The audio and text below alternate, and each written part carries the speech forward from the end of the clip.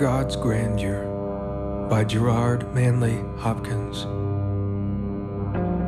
The world is charged with the grandeur of God. It will flame out like shining from shook foil. It gathers to a greatness like the ooze of oil crushed. Why do men then now not reck his rod? Generations have trod, have trod, have trod, and all is seared with trade, bleared, smeared with toil, and wears man's smudge and shares man's smell. The soil is bare now, nor can foot feel being shod. And for all this, nature is never spent. There lives the dearest freshness deep down things, and though the last lights off the black west went, oh, morning at the brown brink eastward springs, because the Holy Ghost over the bent world broods with warm breast and with, ah, bright wings.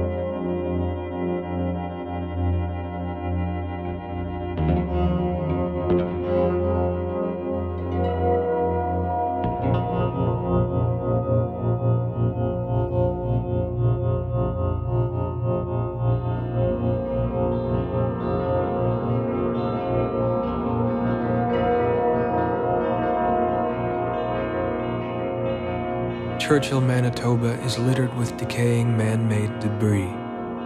Miss Piggy, a C 46 aircraft carrying hundreds of cases of soda and one snowmobile, losing power over Hudson Bay in 1979, the pilots turning back, crashing just short of the airport and narrowly avoiding crashing into the bay, instead, clipping a power line with the left wing and crashing into the rocks.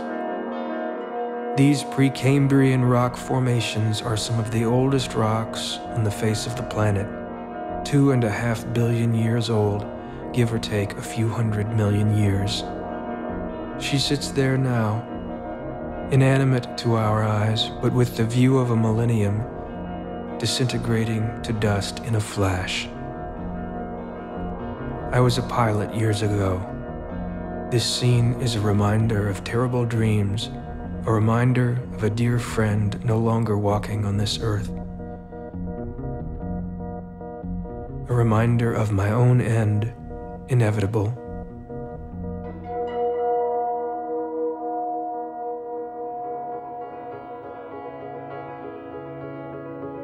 We sit and watch under the glowing sky with cameras made of rubber and silicon, alloys and glass in the hopes of preserving the moment.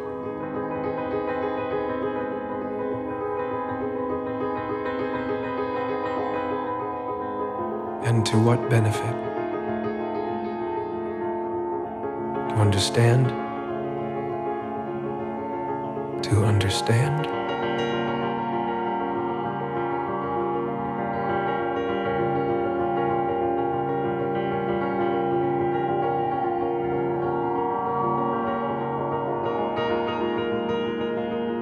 We sit and watch, trying to take it in, first with silence and then with shouts of awe.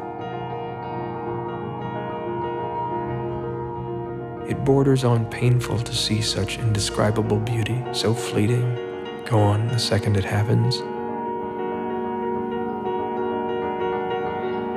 This is why we are here.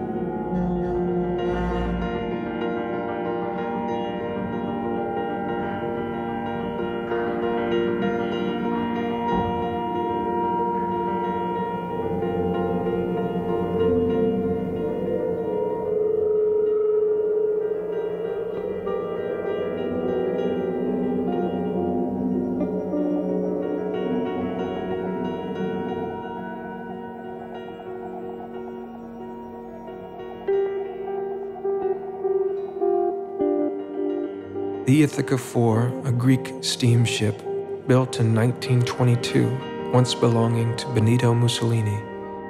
Stranded in the bay 51 years ago, its once strong hull now ripped open by years of decay and rust. It sits at the edge of the bay, waiting for its eventual fate. It will continue to erode, one day so much that it will tip over and break apart into further fragments and at some point there will be no memory of it at all, and all the photos will have faded, and all the digital images of it will have been erased by some geomagnetic storm that will erase every magnetized zero and one. Maybe in a thousand years. Maybe tomorrow. Imagine the lights when that happens.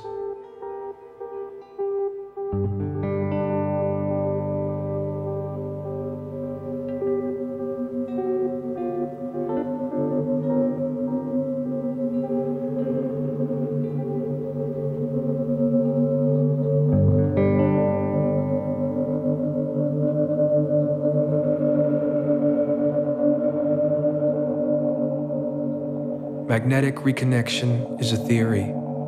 It's a physical process in highly conducting plasmas in which magnetic energy is converted to kinetic energy, thermal energy, and particle acceleration. It's a theory which violates known laws of physics. My colleague on this trip, who's an auroral scientist with two decades of Northern Lights experience, tells of an international conference of auroral scientists when one young researcher burst into the room announcing the lights were active right outside. Everyone jumped at the chance to see and headed for the doors. They stood in silence, awestruck, until one renowned scientist screams, That's impossible.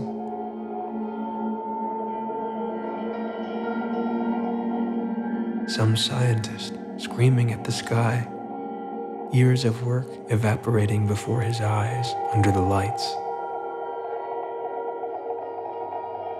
Theories,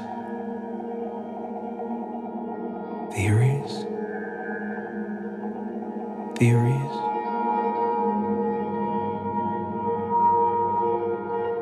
Do you see the lights? Did you understand?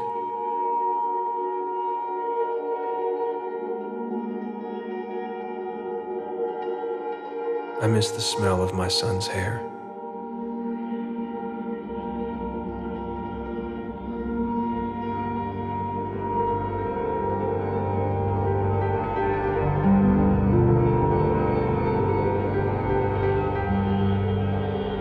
Fort Churchill, the rocket range where over 3,500 ballistic projectiles penetrated the ionosphere, the magnetosphere up into the lower regions of space built in 1954 to study the effects of the aurora on long distance communications.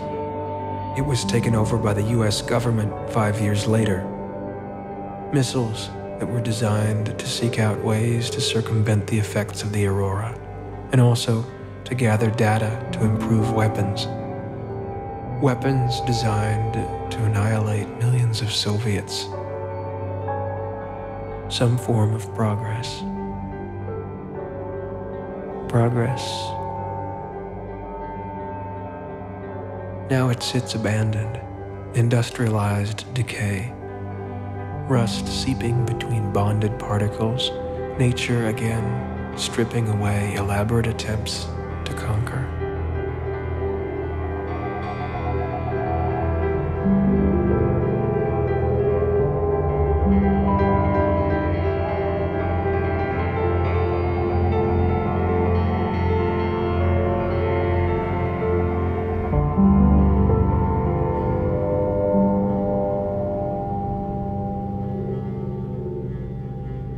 We stand under this glowing sky, our feet on the ground, necks strained towards heaven. My grandfather saw these same stars in Denmark in the 1920s. Catherine the Great saw them. Edvard Munch, Napoleon, Pontius Pilate before the death of Christ.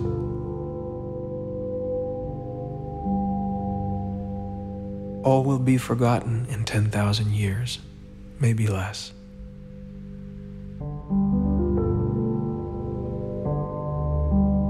This will remain